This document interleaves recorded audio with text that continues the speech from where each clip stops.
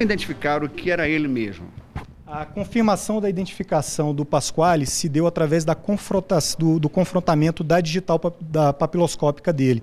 Nós tínhamos a digital que foi coletada pela polícia italiana na década de 80 e ela foi comparada com a digital do prontuário de identificação civil dele que ele obteve em Pernambuco na década de 90. A partir de uma investigação italiana que começou esse processo de detecção desse foragido aqui.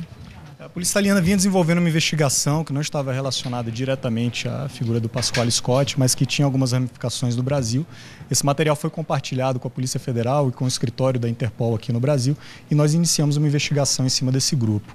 É, nós chegamos à identificação então de um grupo que agia, que, que se encontrava em Pernambuco, em Recife, e após é, alguns desdobramentos, nós chegamos à identificação de Pasquale Scott, que utilizava-se no Brasil a identidade de Francisco de Castro. O que, que vai acontecer agora?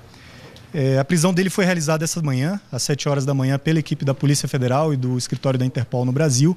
Ele, nesse momento, encontra-se na Superintendência da Polícia Federal, à disposição do Supremo Tribunal Federal, que deve, em breve, determinar o estabelecimento prisional onde ele deverá ficar recolhido.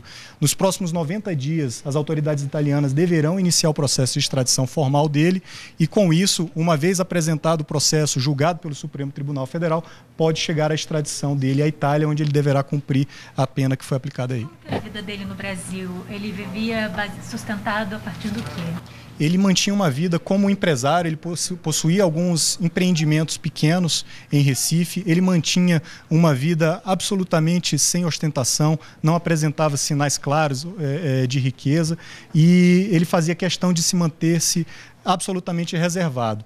Ele mantinha no Brasil uma família, ele encontrava-se casado já há 18 anos e a, a informação que nós temos até o momento é que a família dele não sabia do passado dele. Ele informou a nossa equipe, quando foi preso, que ele fazia é, questão de esquecer-se do passado dele. Então, quando se foi perguntado se ele era é, o Pasquale, ele falou: Pasquale já não existe mais, eu sou agora só Francisco. Como o senhor pensa? Tão perigoso. É minha última pergunta. Okay. O Pasquale integrava e era um dos líderes da perigosa máfia da Camorra Napolitana. Ele é acusado e foi condenado por mais de 25 homicídios na Itália. Ele era responsável pelo braço armado da, da máfia napolitana.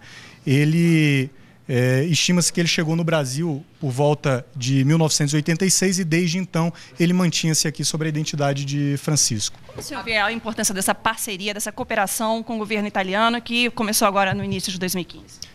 O Brasil tem um, uma longa história de cooperação com a Polícia Italiana. A Polícia Federal possui é, um representante na Itália, a Itália possui um representante policial aqui no Brasil também, e nós atuamos com uma estrita relação e troca de informações. É, a título de exemplo, eu digo que desde 1983 é, nós já fizemos 174 extradições do Brasil para a Itália, um trabalho que é coordenado no Brasil pela Secretaria Nacional de Justiça. E da Itália também já foram extraditados para o Brasil 34 pessoas que são procuradas, eram procuradas pelo Brasil e se encontravam na Itália. É, no Brasil, hoje, a Polícia Federal, desde o início do ano, instituiu um novo grupo de capturas focado na captura de fugitivos internacionais que queiram escolher o Brasil como um local de refúgio. Nosso grupo, esse ano, já foi responsável por 15 prisões de estrangeiros aqui no Brasil e, muito provavelmente, essas prisões serão intensificadas nos próximos meses. É, da mesma forma, esse grupo é responsável pela localização de fugitivos de interesse da justiça brasileira que se encontrem eventualmente no exterior. O Brasil não é o local para ver. O recado que fica dado é que hoje o Brasil não deve ser escolhido por nenhum fugitivo, nenhum foragido internacional como um local, um local para seu refúgio. Aqui ele não encontrará sossego nem paz.